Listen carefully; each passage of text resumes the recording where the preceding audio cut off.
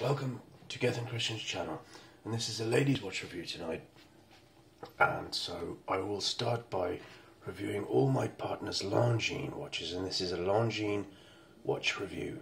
The first watch will be this rather elegant La Grande Classique, one of Longines' most well-known designs, and this is a tiny jewellery piece for a lady with a smaller wrist or a lady who likes miniature watches. Of course, it's a quartz piece with its 5mm case.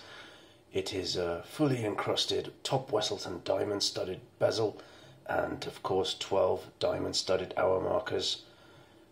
A beautiful multi link bracelet which drapes in the most spectacular way with a twin deployant butterfly clasp, fully milled out and I'm not reviewing this watch or any of the other three too. It's uh, really just to review the, the Conquest tonight, but show and tell of a few different pieces. So here we are, sapphire crystal, bit scratched.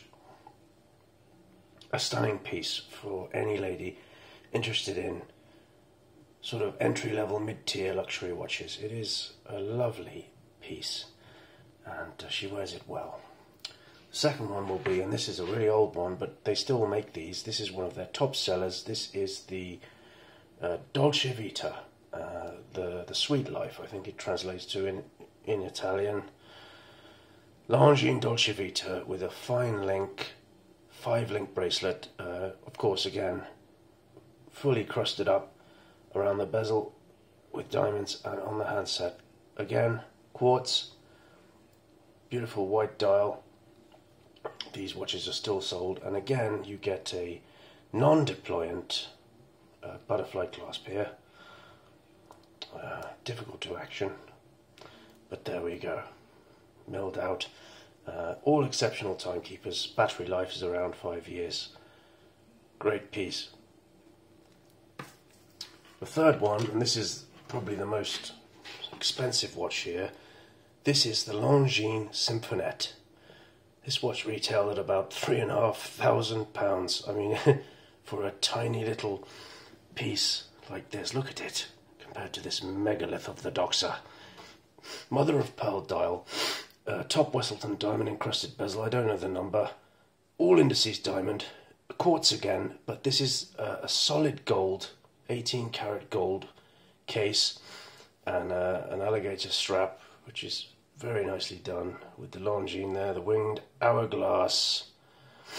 This watch I think Longines no longer make. Uh, we managed to pick this one up for about 15, 1600 pounds uh, on a deal, but what a great watch. I think it's my partner's favourite watch. It's extremely small. I mean, I'd like to be able to put it on my wrist, but unfortunately my wrists are a bit too big to fit this on. This actually fits on my, my partner's wrist, so. Smaller ladies and ladies who like jewellery pieces will appreciate a watch like this. Very nice. But the review tonight will be of this watch, which is my favourite actually out of these because it's a 300 meter water resistant watch and it's not a diver but it pretty much is it is the Longines Conquest Moon Phase Ladies Quartz Watch, reference number L3.380.4.97.6. I know it's a long winded nomenclature and the taxonomy is not saluted, but that's how Longines likes to referentize its watches, and that's how this one is named.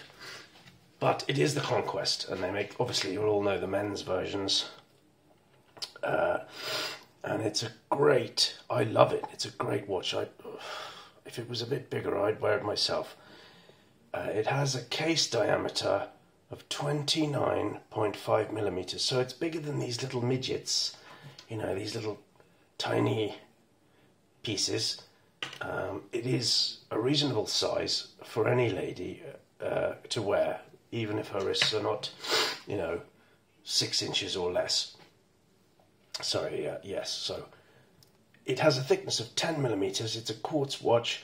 Lug to lug is which is the distance from the end of the case to the other end of the case, is 36 millimeters, and it also features fantastically female end links. So the end links are not sticking out, they are inward. So the bracelet will drape straight down, which will make it wear even smaller than its size uh, would normally do. It has a 15 millimeter lug width, so the bracelet is 15 millimeters and it doesn't taper down in any way to its twin deployant uh, milled out butterfly clasp, which is done exceptionally well, as Longines always do. There are no screws. I think it's pin and I think it's just pins actually, pin sleeves, friction pins, and you will get a 300 meter water resistance or 1000 feet. So quite an exceptional depth rating for such a tiny watch. Uh, it features the it Longines falls under the Swatch group of, of, of watches, so it will feature an ETA movement inside, and it's the ETA quartz movement, the L296, which is a Longines sort of decorated or or specialized movement, but it's an ETA movement, and this one features less than one second per month deviation. Incredibly accurate and also an end of life indicator. I think the battery life's about five years, and you will feature 11 top Wesselton diamonds, VS SI diamonds, and although they are extremely small, they are top quality diamonds. Uh, a screw down crown, of course, to ensure that water resistance is featured. You will pop it out once to change the date.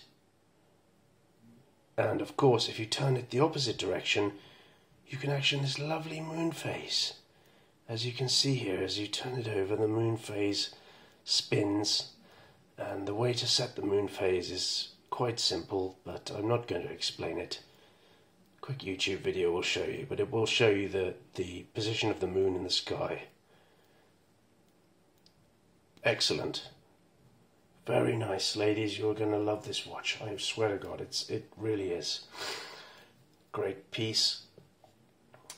Uh, it will feature a polished handset. There's no lume on this watch. Of course, second hand is hitting the hour, the uh, minute track exactly, and a lovely blue sunray dial is featured. That is hard to show. Well, it does show quite well, but in the daylight, it really does show off very well. Swiss made 300 meter watch. It's not a joke. It features a framed date window at 3 o'clock with uh, black numerals on a white date disc. Very nicely done.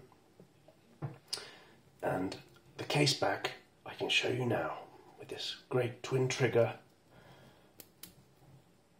Twin trigger deployment. And there's the winged hourglass the Longines logo. It's very scratched up and you will have to deal with that. The, the case is, is fully polished there are no brush surfaces here. It's all fully polished. The crown guards are polished. The bezel is polished. The top of the lugs are polished. The flanks are high polish.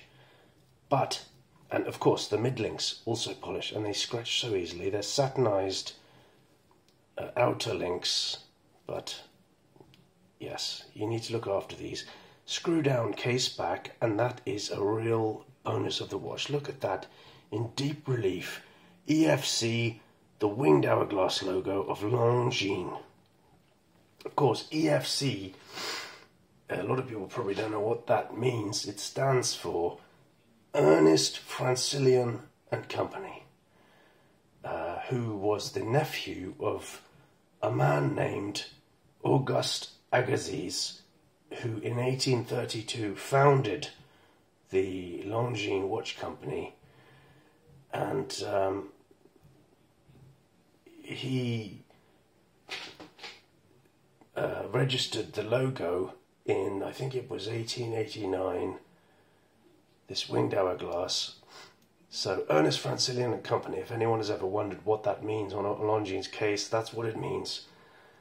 Uh, and its winged hourglass logo is, in fact, interestingly, the oldest unchanged active trademark registered with WIPO, which is the World Intellectual Property Organization.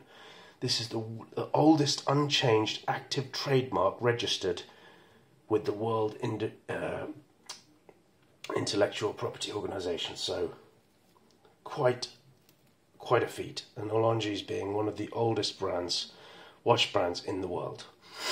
There's a lot of history to this brand, and although they, you know, a lot of people slag them off, they make excellent pieces, uh, extremely well made, top quality, at a reasonable price. You know, from sort of a thousand up to about four thousand pounds, you can really get some great great watches from Longines. Les Longines, meaning of course in Swiss French or whatever it is, long meadows, which is derived from the place uh, where the watches were actually made initially. But yes, a signed crown, that winged hourglass there again, and it's a great, a great brand. Some great pieces. I just thought I'd show them off. You know, this isn't for my usual subscribers, but I, hopefully some, maybe your partners might like to watch this video. You guys, you know, I don't know. Lovely, lovely watches. They make automatics as well. A lot more expensive, but for these small, thin dress pieces, a lot of ladies don't want to be dealing with automatic watches. They're not interested in winding and setting. They're not like us guys. So, extremely accurate, beautiful, well made pieces. I hope you've enjoyed that. Just a quick one. Uh, and look at the size comparison with the 1500. And on that note, I will bid you farewell. Stay freaky. And never give up. Lume not even once.